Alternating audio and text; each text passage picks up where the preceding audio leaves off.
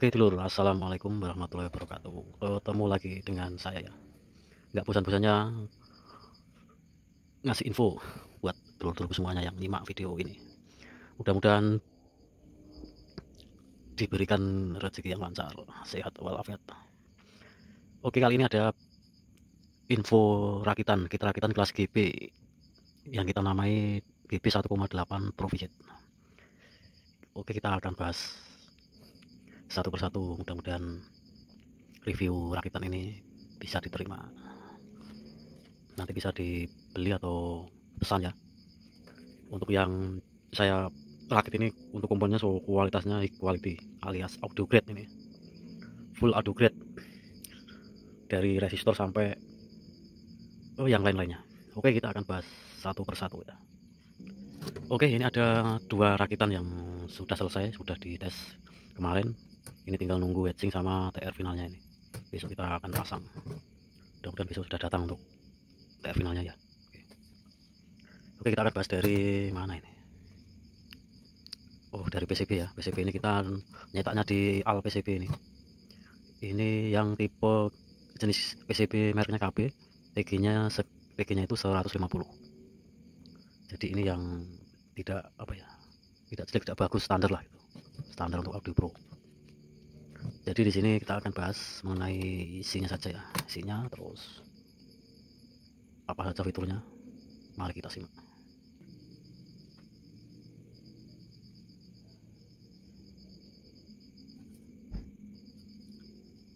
Oke untuk GB yang saya rakit ini adalah tipe kopiannya 36 ya 3600 kopiannya 36 Viet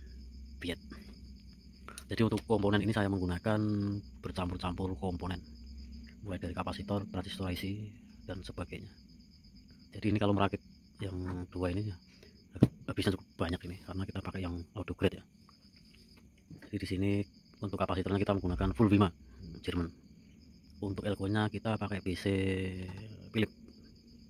Philip jadi yang ini kita pakai Elnat dan Icicon untuk transistor eh resistor kita pakai campur ya Jerman Jepang terus mana usaha itu ada itu. Untuk kapasitornya yang orang nyebutnya biji asam kita pakai yang silver mica ini made in, made in USA katanya itu oke jadi yang saya rakit ini menggunakan uh, stapler ya nanti. Tapi bukan di sini melainkan dipisah dijadikan satu di PCB besoknya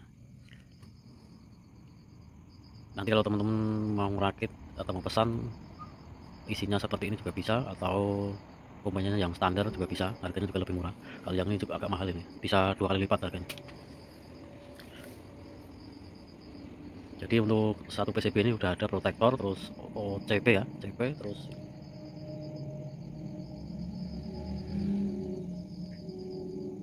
OCP terus extra fan ini.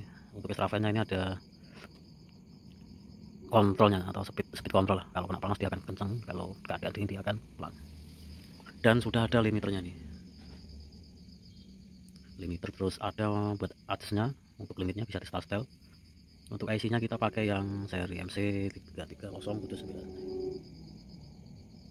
oh remote roller yang untuk ini satunya adalah buat proteksinya ya. Jadi di sini kit yang saya rakit ini sebenarnya buat sendiri kali karena komponennya kita pilih yang bagus.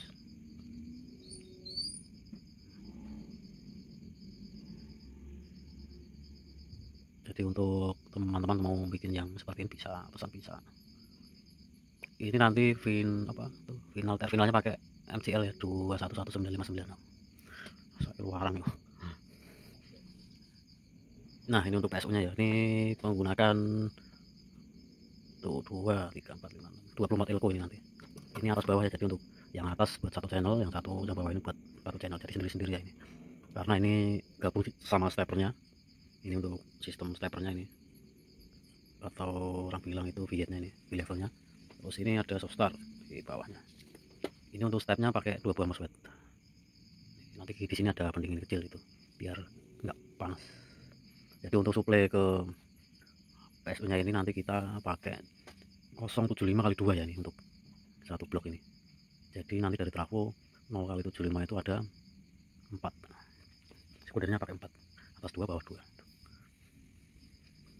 jadi untuk PSO nya ini desainnya itu sekitar biru ya 100 ya hampir 200an kayaknya sih.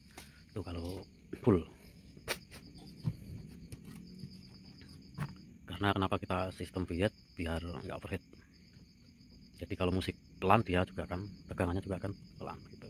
Dia naiknya mengikuti sinyal audio.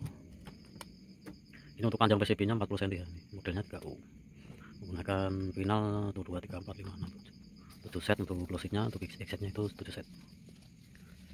Finalnya sekarang sekitar 250 satu setnya. Bisa dikalikan.